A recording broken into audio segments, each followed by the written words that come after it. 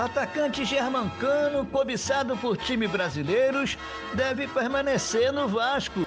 Rebaixado para a Série B do Campeonato Brasileiro, fez o Vasco ter que apertar ainda mais as finanças.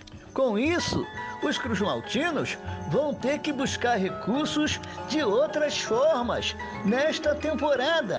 Uma das opções é negociar seus principais jogadores. O atacante argentino Germancano, artilheiro da equipe na última temporada, é alvo de interesse de Corinthians, Atlético Mineiro e Grêmio. No entanto, o empresário de Cano, José Costazo, negou qualquer proposta.